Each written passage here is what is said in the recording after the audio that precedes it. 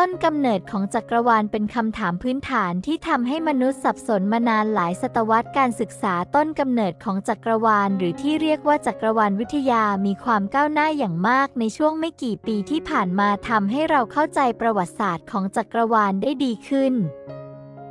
นักจักรวาลวิทยาเชื่อว่าเอกภพเริ่มต้นในฐานะเอกภาวะ ซึ่งเป็นจุดที่ร้อนและหนาแน่นเป็นอนันต์เมื่อประมาณ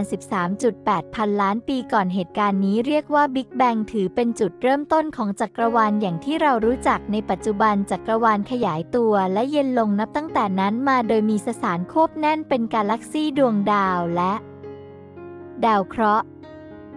ทฤษฎีบิ๊กแบงเสนอว่าจักรวาลเริ่มต้นจากจุดเดียว โดยมีสสารและพลังงานทั้งหมดอยู่ภายในนั้นจุดนี้ร้อนและหนาแน่นอย่างไม่น่าเชื่อ โดยมีอุณหภูมิสูงถึงหลายพันล้านองศาเซลเซียสประมาณ 13.8 พันล้านปีก่อนจุดนี้ขยายตัวอย่างกระทันหันทำให้จักรวาลพองตัวและเย็นลงอย่างรวดเร็ว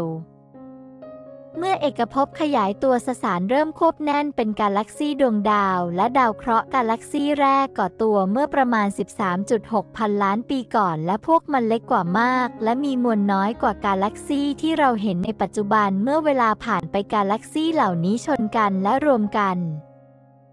ในที่สุดก็ก่อตัวเป็นกระจุกกาแล็กซีขนาดใหญ่ที่เราเห็นในปัจจุบัน การก่อตัวของดาวฤกษ์และดาวเคราะห์เป็นกระบวนการที่ซับซ้อน ซึ่งยังไม่เป็นที่เข้าใจแน่ชัดอย่างไรก็ตาม เชื่อกันว่าดาวฤกษ์ดวงแรกก่อตัวเมื่อประมาณ 13.6 พันล้านปีก่อน และมีขนาดใหญ่กว่า และมวลมากกว่าดาวฤกษ์ที่เราเห็นในปัจจุบันมากดาวเหล่านี้ก่อให้เกิดธาตุหนักผ่านปฏิกิริยานิวเคลียร์ซึ่งในที่สุดก็รวมเข้ากับการก่อตัวของดาวเคราะห์ เชื่อกันว่าระบบสุริยะรวมถึงโลกก่อตัวเมื่อประมาณ 4.6 พันล้านปีก่อนการก่อตัวของระบบสุริยะเป็นกระบวนการที่ซับซ้อน ซึ่งเกี่ยวข้องกับการชนกันของฝุ่นและอนุภาคก๊าซซึ่งในที่สุดก็ก่อตัวเป็นดาวเคราะห์เชื่อกันว่าโลกก่อตัวขึ้นผ่านกระบวนการที่เรียกว่าการสะสมมวลสาร โดยอนุภาคขนาดเล็กของหินและฝุ่นก่อติดกันจนกลายเป็นวัตถุที่ใหญ่ขึ้น จักรวาลเป็นพื้นที่อันกว้างใหญ่และซับซ้อนของเวลาอวกาศและสสารประกอบด้วยกาแล็กซีหลายพันล้านกาแล็กซีแต่ละกาแล็กซีมีดาวฤกษ์หลายพันล้านดวงดาราจักรเหล่านี้มีรูปร่างและขนาดหลากหลาย โดยบางดาราจักรมีลักษณะเป็นก้นหอยทรงรี หรือไม่สม่ำเสมอดาราจักรทางช้างเผือก ซึ่งเป็นดาราจักรที่มีระบบสุริยะของเราอยู่ เป็นดาราจากชนิดก้นหอยที่มีหลุมดำมวลมหาศาลอยู่ใจกลางหลุมดำนี้ มีมวลประมาณ 4 ล้านเท่าของดวงอาทิตย์และล้อมรอบด้วยดิสกัสร้อนหนาแน่น นอกจากสสารที่มองเห็นได้ในจักรวาลแล้ว ยังมีสสารมืดจำนวนมหาศาลอีกด้วยสสารมืดเป็นสสารประเภทหนึ่งที่ไม่โต้ตอบกับแสง จึงมองไม่เห็นสำหรับเราเชื่อกันว่ามีความหนาแน่นประมาณ 27%ของความหนาแน่นมวลพลังงานในเอกภพในขณะที่สสารที่มองเห็นได้มีเพียงประมาณ 5%เท่านั้น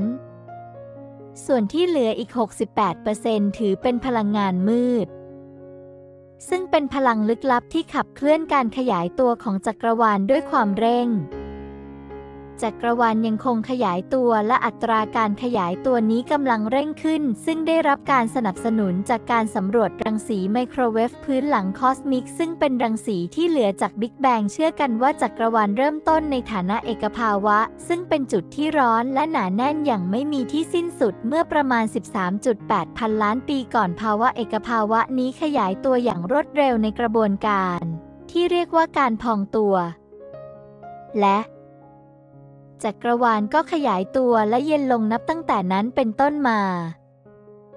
การศึกษาจักรวาลหรือที่เรียกว่าจักรวาลวิทยาเป็นงานวิจัยที่กระตือรือร้นนักวิทยาศาสตร์ใช้วิธีการต่างๆ มากมายในการศึกษาจักรวาลรวมถึงการสังเกตรังสีไมโครเวฟพื้นหลังของจักรวาลการกระจายตัวของกาแล็กซีและคุณสมบัติของหลุมดำพวกเขายังใช้การจำลองด้วยคอมพิวเตอร์ เพื่อสร้างแบบจำลองวิวัฒนาการของจักรวาลและทดสอบ ทฤษฎีต่างๆ การขยายตัวของจักรวาลเป็นหลักฐานสำคัญของจักรวาลวิทยายุคใหม่ ซึ่งเป็นการศึกษาเกี่ยวกับกำเนิดวิวัฒนาการและชะตากรรมของจักรวาลแนวคิดที่ว่าเอกภพขยายตัวนับตั้งแต่เกิดบิ๊กแบงและการขยายยอตัวนี้กำลังเร่งขึ้นได้รับการเสนอครั้งแรก โดยเอ็ดวินฮับเบิลในช่วงทศวรรษปีคศ 1920 และนับแต่นั้นมาก็ได้รับการ สนับสนุนจากหลักฐานเชิงสังเกตการณ์มากมาย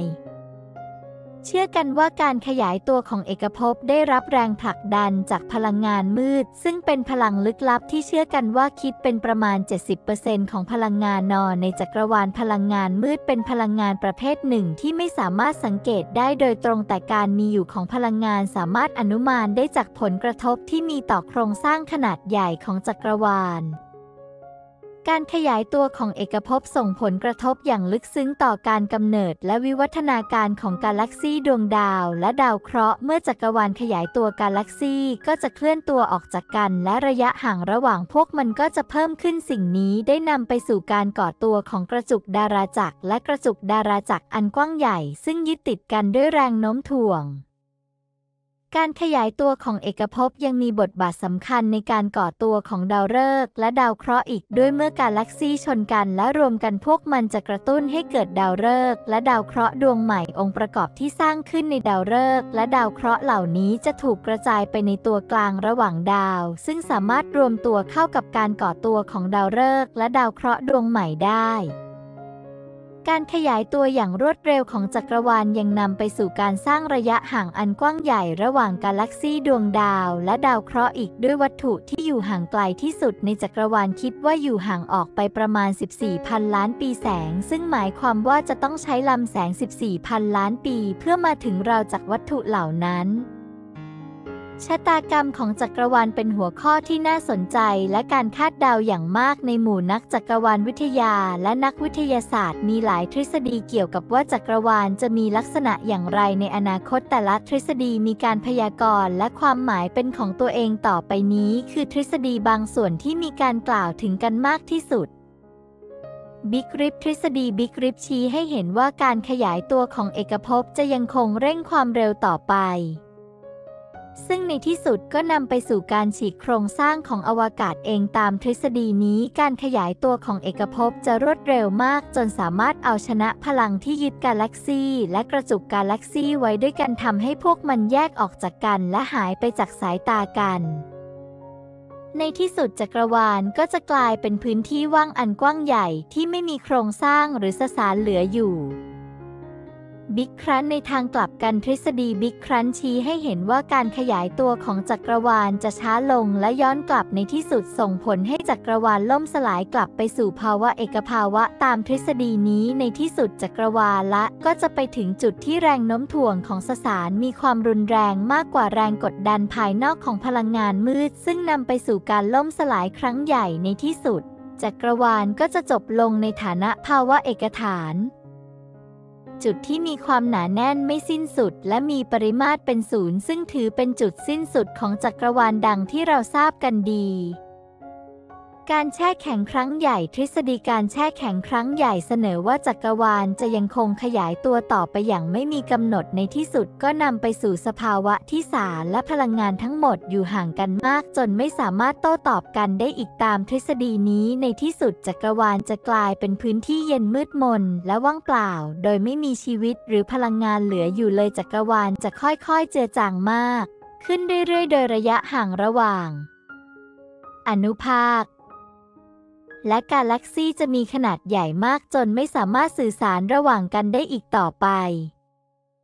ทฤษฎีเหล่านี้อิงจากการสังเกตในปัจจุบันและแบบจำลองทางคณิตศาสตร์ แต่ก็ไม่ได้แยกจากกันและอาจเป็นไปได้ว่าชะตากรรมของจักรวาลอาจเป็นการรวมกันของสองสถานการณ์ขึ้นไปชะตากรรมที่แท้จริงของจักรวาลยังคงเป็นปริศนาและนักวิทยาศาสตร์ ยังคงศึกษาจักรวาลต่อไป เพื่อทำความเข้าใจชะตากรรมขั้นสุดท้ายของมันให้ดียิ่งขึ้น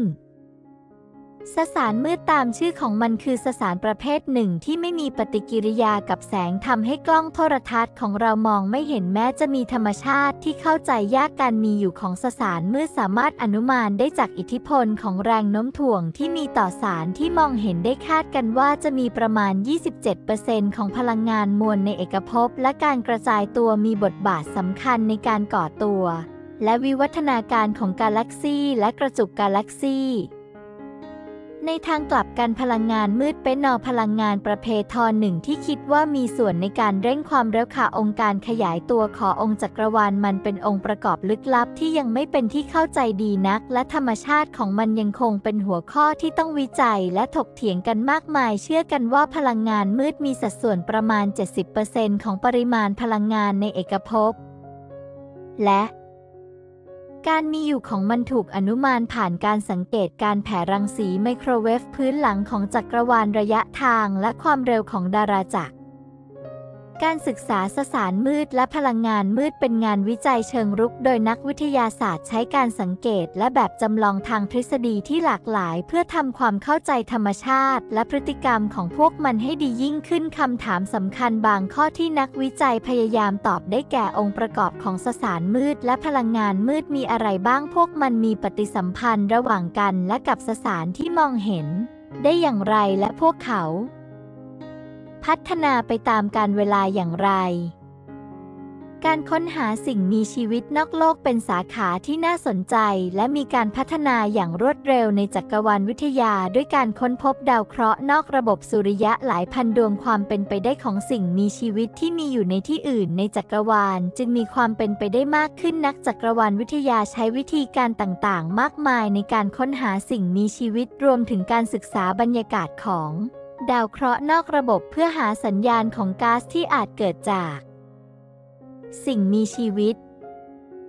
หนึ่งในวิธีที่มีแนวโน้มมากที่สุดในการตรวจจับสิ่งมีชีวิตบนดาวเคราะห์นอกระบบคือการศึกษาบรรยากาศของพวกมันด้วยการวิเคราะห์แสงที่ผ่านชั้นบรรยากาศของดาวเคราะห์นอกระบบนักวิทยาศาสตร์ สามารถมองหาสัญญาณของก๊าซบางชนิดที่อาจเกิดจากสิ่งมีชีวิตตัวอย่างเช่น การมีอยู่ของออกซิเจน และมีเทนในชั้นบรรยากาศของโลกอาจบ่งบอกถึงสิ่งมีชีวิตได้ เนื่องจากก๊าซเหล่านี้มักเกิดจากกระบวนการทางชีวภาพบนโลก อีกวิธีหนึ่งในการค้นหาชีวิตนอกโลกคือการศึกษาสภาพพื้นผิวของดาวเคราะห์นอกระบบ ด้วยการวิเคราะห์อุณหภูมิองค์ประกอบ และคุณสมบัติอื่น ๆ ของพื้นผิวดาวเคราะห์นักวิทยาศาสตร์ สามารถระบุได้ว่ามันสามารถค้ำจุนสิ่งมีชีวิตได้หรือไม่ตัวอย่างเช่น ดาวเคราะห์ที่มีบรรยากาศคงที่มีน้ำของเหลว และช่วงอุณหภูมิคงที่อาจเป็นปัจจัยที่ดีในการดำรงชีวิต นอกเหนือจากวิธีการเหล่านี้แล้วนักวิทยาศาสตร์ยังใช้กล้องโทรทัศน์ขั้นสูง และภารกิจอวกาศ เพื่อค้นหาสัญญาณของชีวิตในจักรวาลตัวอย่างเช่น กล้องโทรทัศน์อวกาศเจมส์เว็บซึ่งมีกำหนดเปิดตัวในปี พุทธศักราช 2566 จะสามารถศึกษาชั้นบรรยากาศของดาวเคราะห์นอกระบบได้อย่างละเอียดอย่างไม่เคยปรากฏมาก่อนช่วยให้นักวิทยาศาสตร์สามารถค้นหาสัญญาณแห่งชีวิตในรูปแบบที่ไม่เคยทำได้มาก่อน การค้นหาสิ่งมีชีวิตนกเป็นงานเจ้านาจิวันที่กำลังดำเนินอยู่ และนักวิทยาศาสตร์ยังคงสำรวจวิธีการใหม่ๆ และนวัตกรรมในการตรวจจับสิ่งมีชีวิตในจักรวาลในขณะที่การค้นหาสิ่งมีชีวิตนอกโลกยังอยู่ในช่วงเริ่มต้นศักยภาพในการค้นพบสิ่งมีชีวิตในที่อื่นในจักรวาลนนั้นกว้างใหญ่และน่าตื่นเต้นและอาจปฏิวัติความเข้าใจ ของเราเกี่ยวกับจักรวาล และ ตำแหน่งของเราภายในจักรวาลได้